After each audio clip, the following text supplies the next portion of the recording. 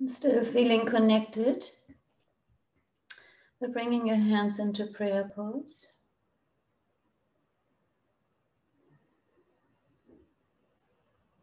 Being present to the V space we created. And tuning in. Asatoma Satgamaya Tamasoma Jyotigamaya Mitrama Amritangamaya Am Shanti Shanti Shanti Inhaling deeply, suspending the breath.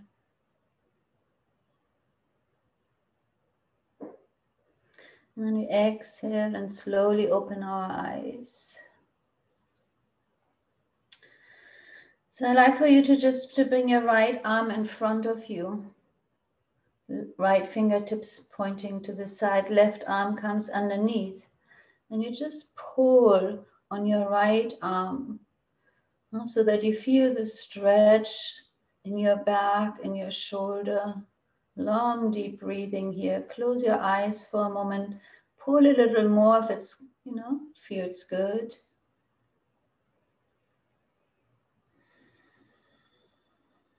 Allowing the breath to open you up from the inside.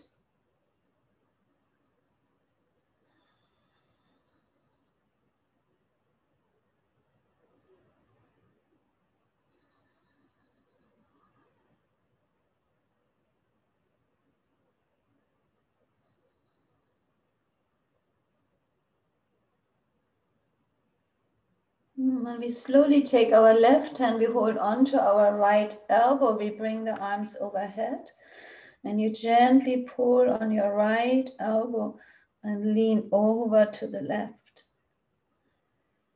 So your right forearm connects with your ear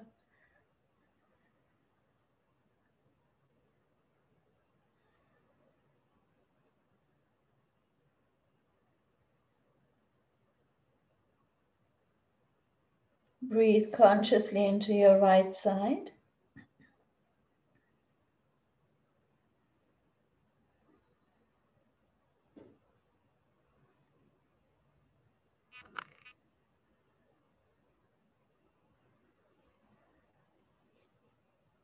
And then come up to center. And we switch. We bring our left arm in front, right arm goes underneath, and you just pull.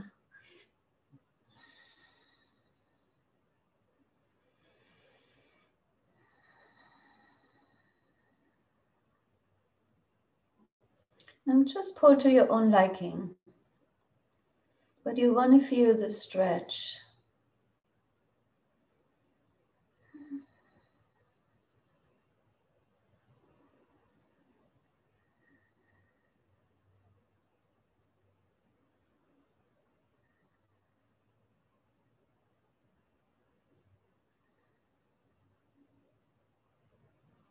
Good, and then we bring our right hand holding onto our left elbow, arms overhead. We pull gently and leaning our torso to the right. Breathing into the left side of our body.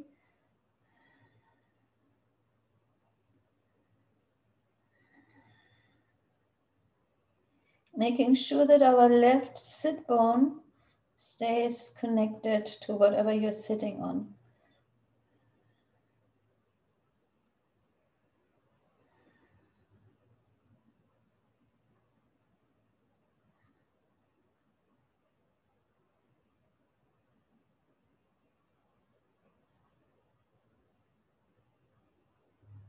We come to center.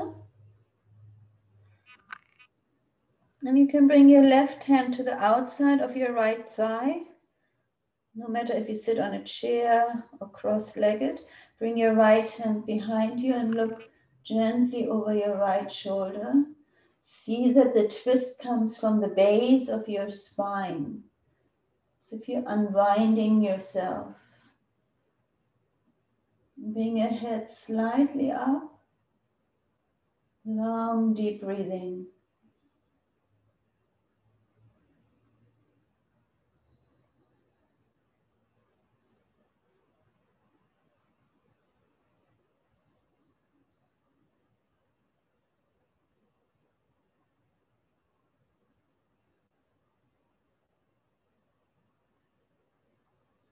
Then me switch, and sure enough, you go to the other side. So right hand to the outside of your right thigh, left thigh, left hand behind you.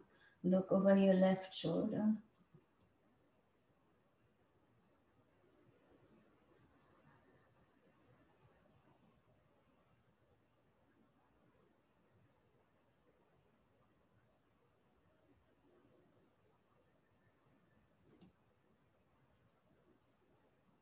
Come to center, we bring both arms up overhead, palms face each other. You lean over to the left on the inhalation, and then you lean forward, arms hugging the ears the whole time, over to the right, and then arch just slightly back. So big rotations. Inhaling when you come up. Exhale when you go forward and down. You can inhale through your nose coming up. Exhale, open mouth, leaning forward.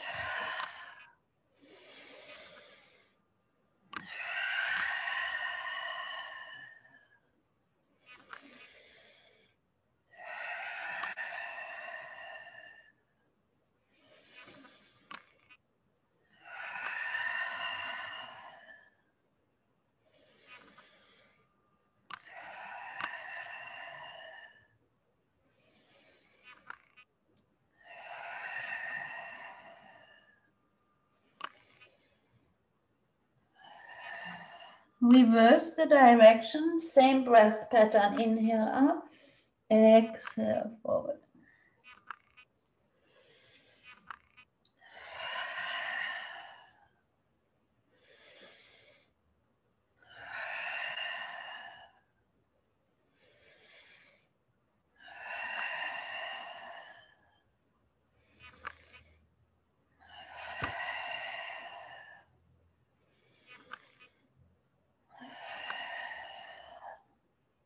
Come to center. We bring the arms out to the side. The fingertips touch the pads. Thumbs are extended. Arms go slightly back so you feel the stretch over your chest. And we start a gentle breath of fire, equal in an exhale through your nostrils, like you're engaging your navel, you go slow, on the exhale, your navel moves back. On the inhale, you become bigger.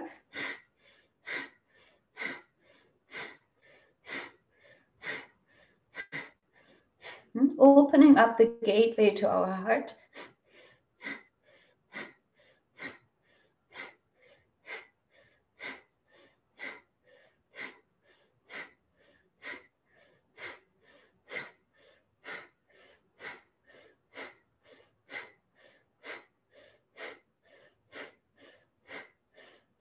to 30 more seconds.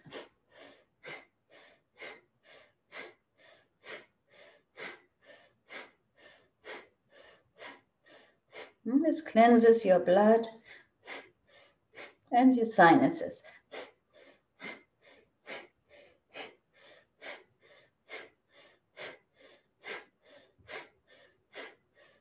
Inhale, suspend your breath, have the tip of your thumbs touch overhead.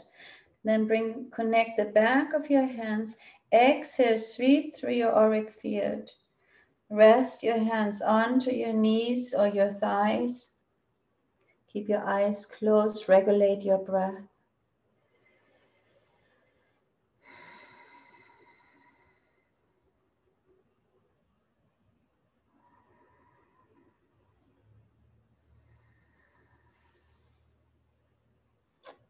Nirmala, you want to take it from here?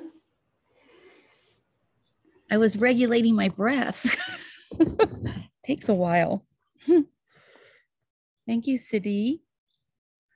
I want to say about this, um, about the movements and the stretching that Siddhi is leading us through so beautifully. Of course, that's stretching us physically, it's engaging us with our physical body, but it's also a metaphor for the stretching that we do in our everyday movement of life, the stretching of our acceptance of things that are not maybe easy or so pleasing to us, our willingness to stretch into whatever we're being asked to do, um, just the stretching and expansion of our whole being. Um, so when you do these stretches, to be reminding yourself you're stretching on all levels. You're not just stretching the physical body. There's a stretch that's happening energetically and attitudinally and intellectually, everything about us. Um, and that's why stretching and moving with our body is so important and such a strong piece of the yogic process is that we engage this physicality and we allow it to be a guide not just the physical body that carries us, but a guide to remind us of all these other aspects of ourselves that we want to continue to expand and grow and deepen and live into. So it's really um, such an important piece of our day. I don't know if all of you or any of you or most of you get up in the morning and do some simple stretches, but all of these stretches that Siddhi brings to us are great um, great ones to use just to awaken yourself in the morning to the fullness of who you are and what this soul is bringing into this life, not just the physical body, but all aspects of us. Um, I just wanted to say that because I feel it every time Siddhi gives us a stretch. I feel it in a way that's, um, you know, that is so expansive. And I just think, oh God, just it's a luxury to have a body to you be able to use your body in this way it's a luxury. So just to enjoy that. Oh today we are going to talk about loving awareness today. So you might be saying what the heck is loving awareness? So the heart is the principle and the center of one's life as a person. It is also the place where the human being in its own source borders on the mystery of God. The heart is the principle and center of one's life as a person. It is also the place where the human being is in its own source borders on the mystery of God. So, we've talked a lot about the chakras or energy centers in our body. And interesting again today, as we'll talk about this, to be reminded that the heart chakra and energy center is the middle one, connecting our lower three chakras, which are more um, physically um, bound and physical indications of how our physical life or what's happening physically for us is going on. And our upper three chakras, more of the connection with the divine and where we're moving into our intuitive nature. So the heart is this bridge between those two aspects of our life and tying us together in the fullness of who we are. So it's really for us to concentrate on not only the physicality of the heart, but the um, the more energetic value that the heart brings to the fullness of, a, uh, of our lives and how we express ourselves. So, how do we get to loving kindness and loving awareness? Um, I want to talk a little bit about the difference between loving kindness, which is a beautiful Buddhist um, metta meditation, has been introduced by the Buddhists as a way of incorporating our compassion and love, not only for ourselves, but for all sentient beings. Um, and I think we've done the metta meditation actually together um, many months ago. But loving kindness is a way of bringing action into the world and being available to support and help others that are in need and offering our the kindness of our heart to all sentient beings regardless of uh, where they are and who they are and just being present for everyone. That's a little different from loving awareness which we'll talk about today which is a way of being. It's not a doing it's a being. It's a um, it becomes the expression of you not in your physicality but in your entirety of who you are, that your awareness is expanded to a place where you are love. You're not doing love, you are love. So, for us to understand this, we first need to understand the construct that we call myself, ourselves. Um, within our consciousness, there are three different points of view. The first is the ego, the plane of our personality.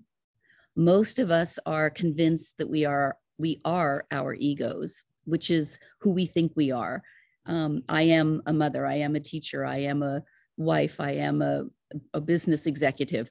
If someone asks you, Who are you? you'll have a list of actions that you do into the world um, that define you.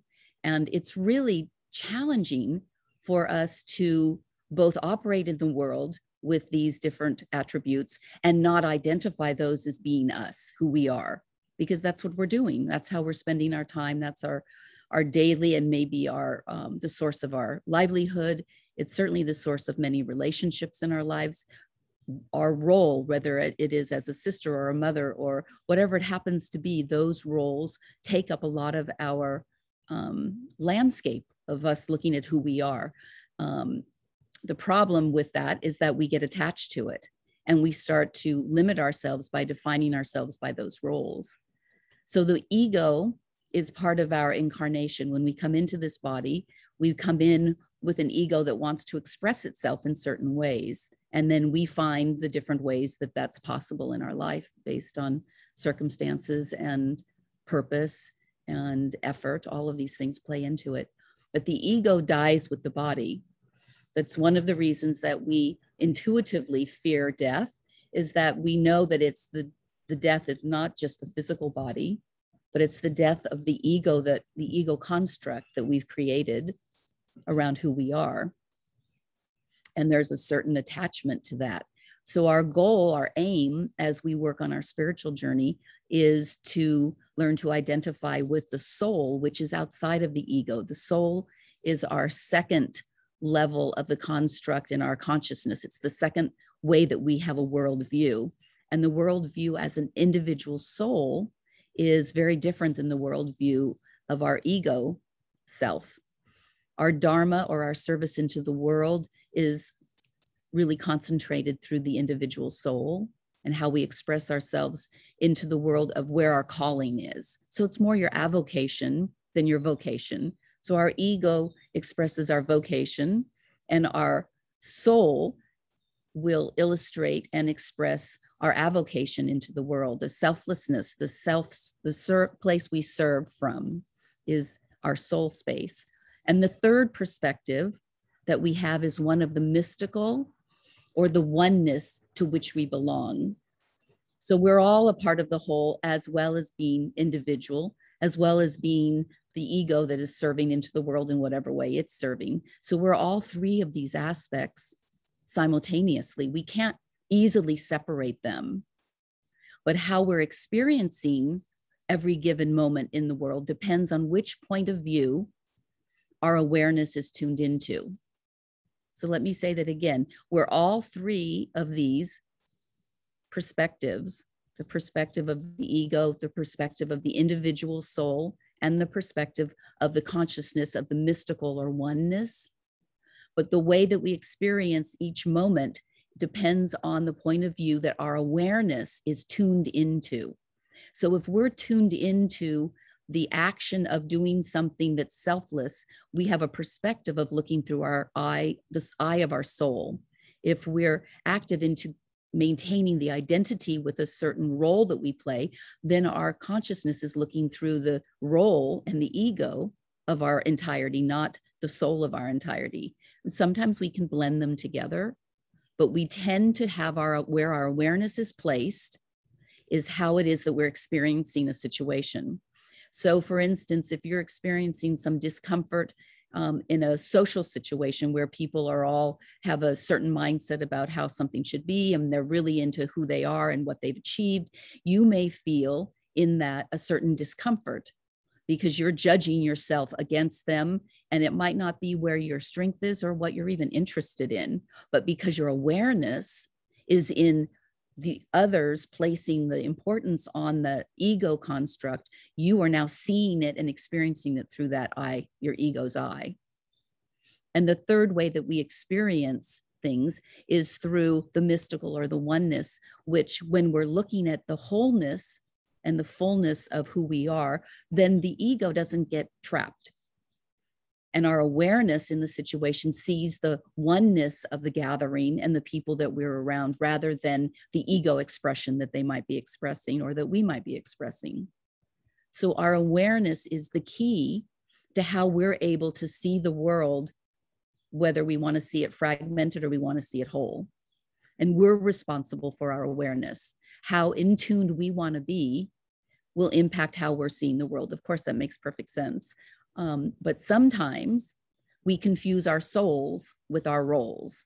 So we have a role of doing certain things that we then have attached to in a way that that's who we believe we can express ourselves. That aspect is how we express ourselves into the world. And we forget that the easiest and the most natural way of expressing ourselves is as a soul, it's in the wholeness and fullness of ourselves if we follow our loving awareness or our higher consciousness, let's call that, if we look at ourselves as a higher consciousness or lower consciousness, not as a um, I'm not comparing them. One is better and one is worse. Not in that way. Just in that your higher consciousness is that which is connected to the the divine nature, which you are, and your lower consciousness is connecting you to the earthly nature, the physicality of who you are. Both are needed. We're here in a physical body. It's not wrong or bad to be connected or or attached to in a way that is healthy. When it gets unhealthy whether we're attached to um, the physicality of our body or how we express it then our awareness only stays with that aspect of how we are in the world. And we miss this higher consciousness contact with the divine nature that we are. We want to enjoy both we're here to enjoy both. You're here to be in a physical body, enjoying the fruits and the beauties of having physicality as a way to both express in and experience the world. But we're also here to connect to our higher nature. We came in with that connection, and we're here to maintain it or to reclaim it. If we follow our loving awareness or our higher consciousness, we become in God awareness. And God, as a broad term that can mean perfection to you or unity to you or oneness, however you experience the God nature, following our loving awareness instantly places us in places us in relationship with our god awareness. We're aware of the divinity that exists around us and that is the pool that we're swimming in of divinity and we're part of that. We're swimming in it. We're not separate from. We're already in it. You don't enter it and find it somewhere like you arrive you are already in it. It's just us recognizing and reclaiming and and being in um, contact with it in a way that's really substantive in our life. So when you're in your intuitive self the knowing self the flow when you're in that flow that is handling whatever's coming to you and you have a willingness to engage that is your soul plane. You're accessing your higher self which is bringing you into contact with this this pool of God awareness. This same awareness is in everyone. And when we enter into it, we get into connection with oneness. We start to feel that lack of separation. And ultimately, our aim is to be in that connective place where we're one of the whole. Because when you're one of the whole, you no longer can do anything that is um, not pleasant to anyone else. You can no longer call out people. You can't be judgmental. You will find your heart opens in an entirely different way because you're part of the whole. So if you're damaging somebody that's part of the whole, you're also damaging yourself. And you feel that very strongly. So your intention to bring loving awareness into your life so that you can experience all everything that's happening all the joy that's happening around us as well as all the pain we can experience the entire pool of experiences that all of humanity is feeling. And you might say well why the heck would i want to do that? Because you want to have the expansiveness of everything and be able to take that energy and calibrate it and work with it. Even when we perceive something as being more difficult, unpleasant. Why would I want to have that in my pool? As soon as you separate out that, you can no longer get the highest level of the good or however you want to frame it. We have to get both ends of the spectrum. We can't choose to just take the pieces we want. It doesn't work that way. If you want the fullness of the joy and the uprising of your humanness into the world, you have to also accept that there's pain in the world and that there's pain in your life and not actually shrink from it, but embrace it. There's a beautiful quote that goes We are born into the world of nature. Our second birth is into the world of spirit. So it is our aim, and this is what we work on while we're gathering together, is our birth into the world of spirit, where we're connected fully 100% of the time, not some of the time, 100% of the time, we're connected with this higher consciousness or higher self. So that everything that's coming through us is coming from that perspective. Your awareness is in the perspective that I am loving awareness, taking a dance through life. And this dance allows me to go into many different places. Some are light and really beautiful, and some are darker. But I'm dancing through all of it. I'm not separating myself out and jumping out of the pool. I'm in the pool of loving awareness all the time and I feel no duality. I don't feel the separation of other. I don't place others above or behind me or below me. We're all in this pool together and we are a part of it. Everyone's a part of it. We can't separate that.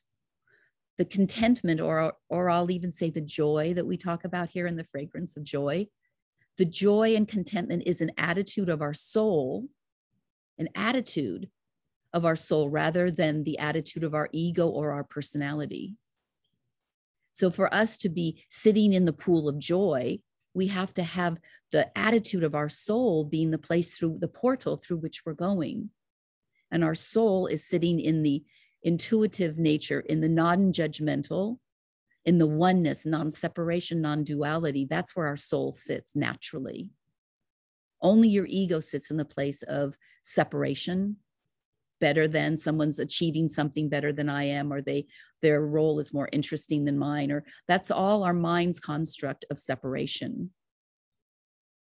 So if we want to have that joy and contentment that is natural to us that's our natural state. When we're in our soul state our higher consciousness our higher self the natural state is contentment and joy. There can be nothing else because all of these constructs that we use to decide something's better or worse or easier or harder are all constructs of our mental physical capacity. They aren't constructs of the soul. So for us to be in that place of joy and connectedness we stay in our soul awareness. We stay in our love awareness and then we live into that space. And if we keep that as the central thought in our mind that i am my soul and when i look at others i see them as souls. I don't see them as individuals expressing themselves into the world in ways that i can judge or not judge. I simply see them as a soul. And when you do that i see the individual differences men and women and rich and poor and attractive and unattractive and physically infirmed or not.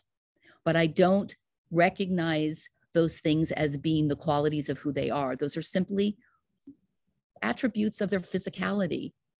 I recognize them as another soul and I see everyone as being part of the one larger soul. That we're all aspects, like a diamond with the facets. We're all a facet of the whole diamond. We don't take the facet out and go running off somewhere else. We stay intact with the whole. And then there's no judgment and no separation. There's a sweetness and loving awareness is emotion, is the emotion of merging. It's the becoming one. So when we sit in loving awareness and we make a conscious effort to be in loving awareness, we will sit in the understanding and the experience of oneness. Love is a way of pushing through into the one we treat love and hate and other emotions like they're all on the same level, but they're not. Hate, fear, lust, greed, jealousy, these all come from our lower self, our lower consciousness, from the ego. Only love comes from the soul. That's all that can come from the soul or the higher consciousness, higher self. Nothing else can come from the soul except love. That's all that there is. In that state, you are nothing but pure love. When you identify with your soul, you live in a loving universe the soul loves everybody. The soul does not distinguish between those who are lovable and those who are not lovable. It's like the sun, it brings out the beauty in each of us. When we see one another as souls and we relate to one another that way, there's a different chemistry that happens between the physicality of individuals, a different chemistry. There's a letting go of the guard, there's a letting go of the ego, and then there's a merging, and there's this beautiful flow that happens between our individual soul and our soul as part of the oneness.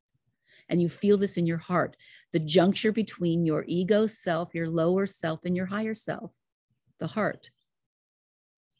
So, us concentrating and spending time on the heart center gives us this journey of loving awareness.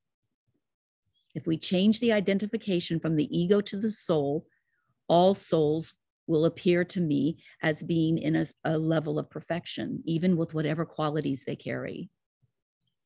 Because the discernment and the difference of seeing somebody in as a whole and oneness is channeling how we're experiencing them through our heart. If we channel how we experience them through our mind, we're going to have a different experience of them.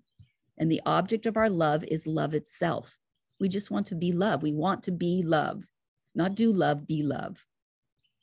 So this week, I invite you to take the opportunity to see yourself as love and love. You are moving around through your life as love in every situation you're in. You simply are spilling over with love from your heart. And it isn't that you have to do more or think something differently or say something differently. You just have to be it. Just be love and see how that changes your um, really your relaxation with the world. When we stop trying to separate and organize, there's a lot of energy that's spent on that. When we stop doing that and we just sit in the oneness, it's much easier. We use less energy and we have much more vitality left for us to move through the world. So this week, let's just be love, love awareness, loving awareness. Beautiful. Thank you. Um, May I say something, Nirmala? Can you please repeat the quote verse? The quote nature and what's the second part? Yeah, I'll I will put it on our um, chat. Good. Okay, I would like for you to take your left hand and you just bring your fingers down very gently and the thumb is left, you know, over. And then you wrap your right hand around your left and so the thumbs are touching the side of your thumbs. So you just embrace your left hand, the hand that comes from the heart. And you keep this mudra in front of your mouth. And we will inhale through the nose and then we exhale through the open mouth into the space between our thumbs. So we are giving the energy from the heart into our hands through our breath. So we inhale through the nose and exhale, open mouth.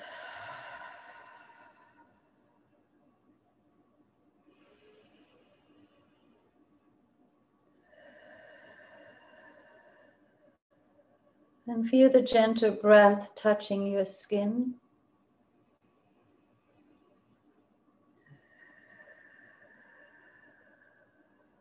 Stimulating the neural activity under your skin.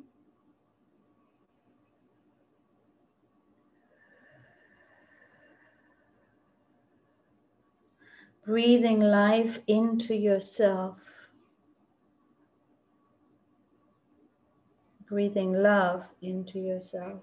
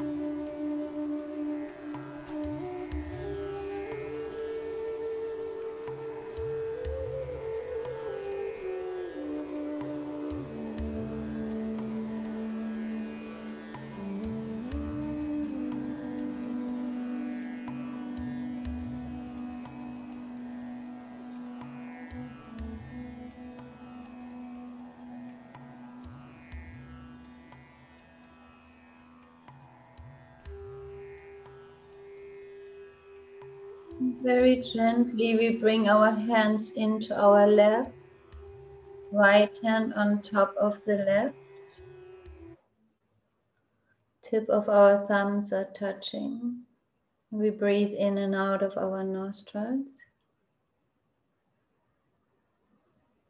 Sitting in silence.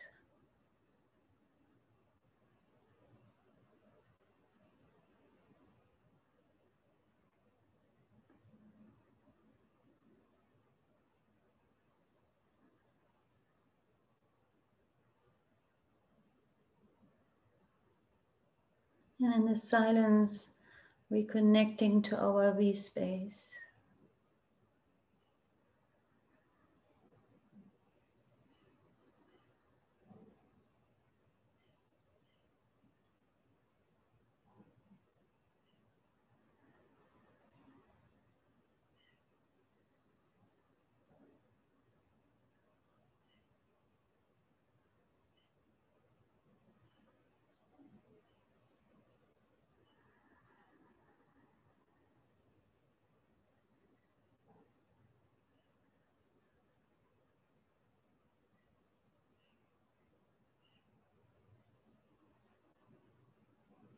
Mm-hmm. Here we bring our hands into prayer pose. Um,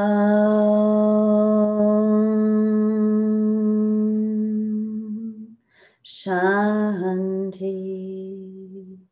Shanti, Shanti.